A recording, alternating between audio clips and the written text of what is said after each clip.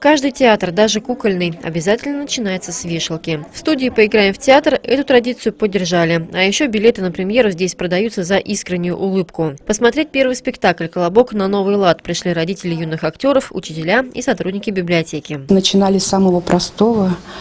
Потом, когда уже дети смогли зайти за ширму, очень обрадовались. Дети любят это. Ребятам нравится, с удовольствием бегут. И то, что у них горят глаза, это очень радует нас. Колобок на новый лад был встречен громкими аплодисментами. И не случайно. По версии режиссера и актеров театра, главный герой не был съеден коварной лисой. Напротив, в каждом диком звере он нашел друга. Хэппи-энд зрители оценили, как и восхитились актерскими талантами своих детей. Это интересно очень.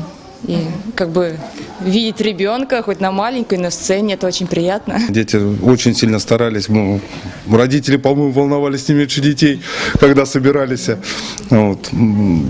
Успехи, я думаю, у нас даже в учебе подтянулось, потому что текст запомнить большой труд.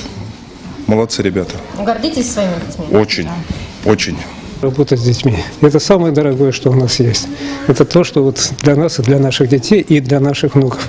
Это очень хорошо. Я просто благодарен всему коллективу, кто принял участие, сработал, работал с нашими детьми и учит их жить в коллективе. Это очень здорово. И сказка на Новый лад я первый раз слышу. Это вообще здорово. Довольны премьерой и сами актеры. Три месяца не прошли напрасно. Ребята научились не только водить кукол за ширмой, но и сами их изготавливать, рисовать афиши и декорации. Со своей ролью справились все. Я весь текст выучила. Я уже маме весь текст рассказывала, так что ура!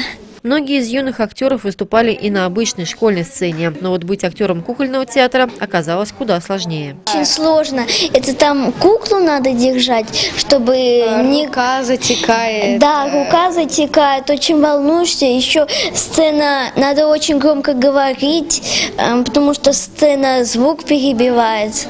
И это... Это Иногда волнуешься.